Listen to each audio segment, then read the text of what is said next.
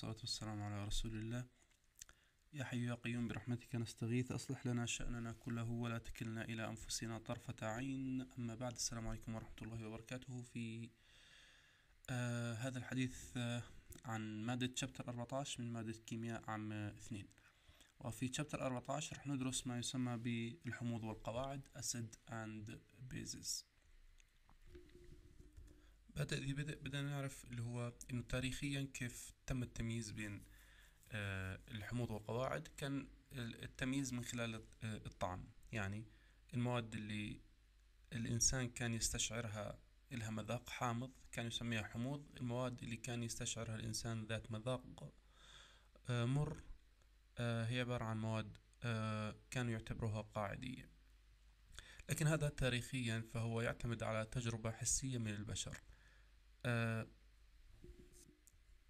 لذلك محاليل مثل محلول vinegar آه هذا المحلول بيعطيني طعم حامض وهو يحتوي على مادة ال acetic acid اللي هو حامض الخل أو خليك ومادة مثل آه الليمون تحتوي على أو لها مذاق حامض لأنه فيها مادة بسموها ال citric acid فكلاهما عبارة عن مواد آه حامضية. بينما القواعد واللي بيسموها أحيانا alkalis زي ما حكينا هي تتميز بطعمها ال ال ال المر وإلها يعني ملمس زلق إذا جاز التعبير مثل الصابون مثلا. فهذه صنفت على أنها مواد basic أو مواد قاعدية.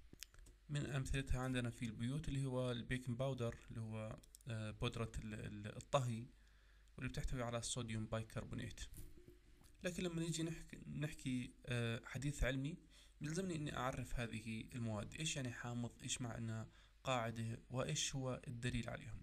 لذلك آه بدأ الحديث عن هذا الموضوع من زمان. وبدأ بالحديث عن آه موديل أو نموذج أرهينيوس لتعريف الحمض والقاعدة. وأرهينيوس حكى لنا إنه الحمض هو تلك المادة اللي بتعطيني بروتونات H والقاعدة هي تلك القاع هي تلك المادة الكيميائية اللي بتعطينا إيونات الهيدروكسيد اللي هو ال OH minus لذلك إذا طلعنا على مادة زي مادة ال HCl بما أنها بتعطيني H plus فهي عبارة عن مادة acid وكذلك الأمر ينطبق على مادة زي ال nitric acid اللي هو حمض النيتريك. بما أنه يعطينا H plus فهو عبارة عن برضو acid على الطرف الثاني لو شفنا هذول المادتين اثنين ال KOH وال NaOH كلاهما مصدر لل OH minus فبالتالي يصنفوا على إلهم على إنهم base لكن هذا المفهوم اللي هو مفهوم أرهينيوس كان فيه قصور. لأنه وجد فيما بعد أنه في بعض المواد لها مذاق حامضي ومذاق قاعدي بدون ما تكون تعطينا H plus أو OH minus لذلك جانا تعريف برونستيد and لوري أو نموذج برونستيد لوري لتعريف الحمض والقاعدة هو برونستيد قال لنا أنه ال acid هو عبارة عن تلك المادة اللي بتعطينا بروتونات مثل مثل تعريف أرهينيوس تقريبا.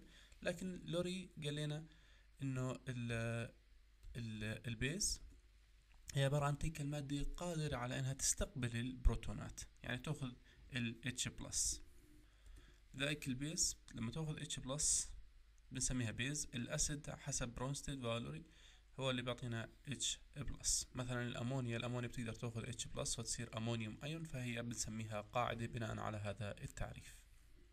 وفيما بعد وضح أو توضح أنه في قصور برضو في هذا التعريف لوجود مواد ما اندرجت تحت تصنيف أو هي قواعد أو حموض لكن ما اندرجت لا تحت أرهينيوس definition ولا تحت برونستيد لوري. Definition لذلك برز لنا اللي هو الموديل تاع لويس. ولويس عرف ال acid على أنه هي تلك المادة اللي بتستقطب أو بتستقبل زوج من الإلكترونات. فهي عبارة عن electron pair acceptor وزوج من الإلكترونات يعني تكون ذرة مثلا عليها إلكترونات غير رابطة. آه sorry تمنحها إلى ذرة ثانية. آه خلينا نسميها Y. هذه الذرة تحتاج إلى إلكترونات عشان تستقر. فبالتالي وجود هذه الإلكترونات على الذرة المانحة آه راح نسميها كمان شوي لويس base تعطى إلى مادة تستقبل هذه الإلكترونات هذه تسمى لويس acid. ومن أمثلتها اللي هم ال metal ions اللي هم خلينا نحكي بشكل محدد اللي هم transition metals العناصر الانتقالية واللي بتحتوي على أفلاك ال d وال f ممكن تكون فارغة فممكن تستقبل هذه الإلكترونات في تلك الأفلاك. بينما زي ما حكينا اللويس base هي تلك المادة اللي بتمنح هذه الأزواج الإلكترونية. فالمادة X أو الذرة X هي بنسميها اللويس base والمادة Y بنسميها لويس acid لأنها بتستقبل هذه الأزواج الإلكترونية.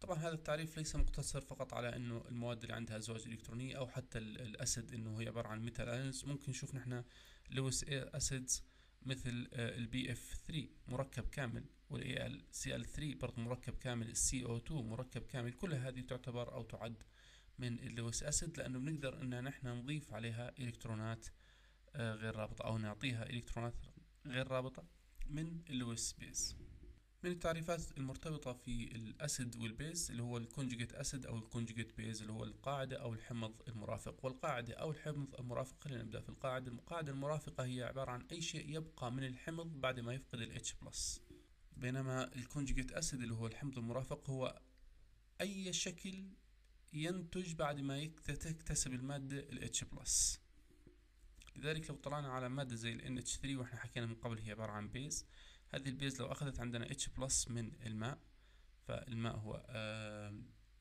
acid في هذه الحالة. طبعا راح نحكي فيما بعد عن مفهوم ال acid base بالنسبة للماء مواد زي المي. آه لكن الأمونيا حتكتسب ال H plus فبالتالي حتعطينا NH4 فهذه بدنا نسميها ال conjugate acid الحمض المرافق. وال OH minus فقد H أو عفوا H2O فقد H plus فبالتالي بقي منه فقط OH minus فهذه عبارة عن ال conjugate base عادة ال conjugate acid تكون مشحونة بشحنة موجبة وال conjugate base بتكون مشحونة بشحنة سالبة تبعا ل Bronsted Lowry acid base definition عادة ال acid بتفاعل عشان يعطيني آه ال conjugate base تاعته وال base بتتفاعل عشان تعطيني ال conjugate acid تاعتها. مثل الأمونيا الأمونيا عبارة عن آه base فهي تفاعلت وأعطتني ال conjugate acid تاعتها بينما الماء هو عبارة عن acid فهو تفاعل وأعطاني ال conjugate base لإله. من ضمن الأشياء اللي ممكن أحيانا نشوفها نحن في طريقنا في الحديث عن ال acid وال base نشوف إشي بسموه ال hydronium. ion وهو ال H3O وهو عبارة عن اكتساب المي أو الماء إلى آه، بروتون. بالتالي الماء لما يكتسب بروتون بيصير عندنا على هذا الشكل H3O وأحيانا نكتب هذا التفاعل تفاعل تفكك ال HCl على هذا الشكل. فبنلاحظ إنه في هون H وهون في عندي H3O دائما ابدا نحن بنعتبر الحديث عنهم متساوي. يعني إذا قلنا H plus أو H3O plus فنحن بنحكي عن نفس الجزيئة اللي هي اللي بتعطيني حامضية ال solution عفوا مش جزيئة هي عبارة عن أيون بنهاية المطاف. من ضمن الأشياء المرتبطة برضو في الحموض والقواعد هو مسألة ال dissociation أو ال ionization of an acid وراح نركز في حديثنا في هذا الفيديو والفيديوهات القادمة إن شاء الله فقط على ال acid وفيما بعد راح نتحدث عن ال base في فيديو منفصل إن شاء الله. فال acids لهم ما يسمى بال dissociation أو ال ionization يعني تحول من شكل neutral إلى شكل مشحون. شكل آه مشحون. هذا يحدث لما يذوب في الماء. لذلك ال acid إذا وضعناه داخل الماء وتفكك بيعطيني ال hydronium أو ايون أو ال H3O أو ممكن نستعيض عنه بال H زي ما حكينا وبيعطيني ال conjugate base تاعته اللي هي ال A minus حتى نعبر عن هذا ال dissociation أو هذا التفكك من عادة بنحكي عن إشي بسموه dissociation constant أو K و K تعلمنا في فيديوهات سابقة إنه K لأي تفاعل كيميائي هو عبارة عن تركيز المواد ال product على تركيز المواد ال reactant مرفوع كل منهما إلى الاس تاعه يعني قديش هو معامله في المعادلة الموزونة. هذا K طيب لما نيجي نحكي عن ال acid بنرمز لهذا ال K ب Ka عشان نرمز أو نعرف إنه نحن بنحكي عن ال acids لذلك في الحديث عن ال dissociation constant لل acid بنحكي Ka يعني ال dissociation constant لل A هي ال acid عبارة عن تركيز المواد الناتجة على تركيز المواد المتفاعلة. طبعا يظهر إن في هذا ال expression التعبير تركيز ال hydronium ion مرفوع للقوة واحد تركيز ال A- اللي هي ال conjugate base مرفوع للقوة واحد وتركيز ال HA مرفوع للقوة واحد. فهذا وضع طبيعي جدا. القوة واحد واحد وواحد هنا وهنا وهنا هي تعبر عن قديش المول في المعادلة الموزونة فهم واحد لواحد طيب شو بالنسبة للمي؟ ليش ما ظهرت في هذا التعبير؟ عادة المواد ال pure liquid أو بين قوسين في حالتنا هاي ال solvent لا تكتب في ال Ka expression. يعني هون ما بنحطش نحن والله تركيز ال H2O لأنه تركيز ال H2O almost ثابت فبالتالي نشطبه نحن من آه هذا ال expression وبنعتبر إنه قيمته تقريبا واحد. خلينا نشوف مثال على هذا الموضوع.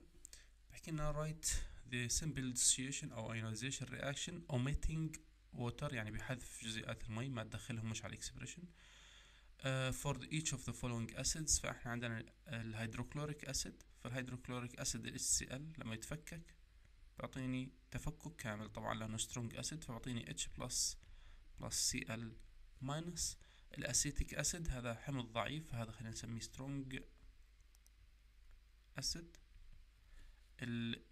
ال acetic acid HC2O3 أو H3O2 بتفكك كونه weak base under equilibrium فمعطيني ال H plus plus C2H3O2 minus ال ammonium ion هذا عبارة عن weak آه acid NH4 plus بتفكك في المي بيعطيني NH3 اللي هي الأمونيا قاعدة وبعطيني ال H plus ال anilium آه anilinium ion آه عبارة عن آه حامض ضعيف برضه فبيتفكك بده يعطيني CH C6H5 NH3 في الماء بيكون تفككه ضعيف زي ما حكينا فبكون في عندي سهم رايح وسهم جاي.